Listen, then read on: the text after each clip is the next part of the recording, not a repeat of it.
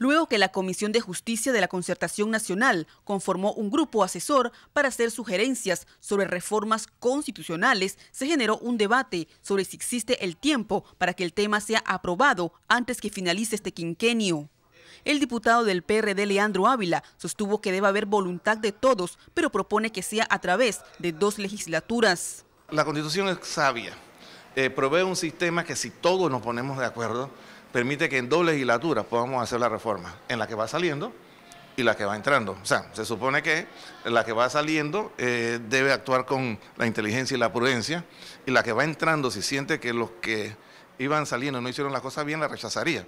Pero yo creo que entonces todos, si todos nos ponemos de acuerdo, se puede dar la posibilidad de una reforma constitucional. Es el mecanismo más rápido, los otros mecanismos son mucho más lentos. Para la diputada Ana Matilde Gómez debe existir un diálogo sin exclusión, aunque destacó que se ha perdido tiempo con este tema.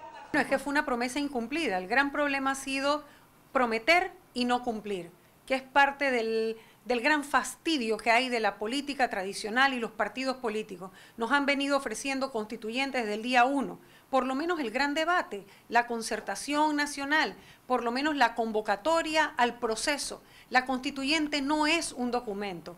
La constitución es el documento consecuencia de la constituyente. La constituyente es un proceso y ese proceso tenía que comenzar liderado desde el poder cuando se llega con los votos.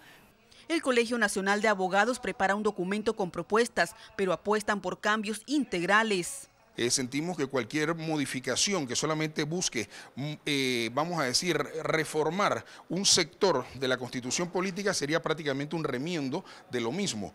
Y la población panameña necesita una, una constitución que esté acorde con nuestros tiempos, que esté moderna y que obviamente eh, permita que el país evolucione de la mejor manera. Entre el grupo asesor para hacer las recomendaciones se encuentran figuras como la ex magistrada Esmeralda de Troitiño, el abogado Juan David Morgan y Carlos Bolívar Pedrechi. Con cámara Gerardo Golis, Yarelis Ureña Navarro, Next Noticias.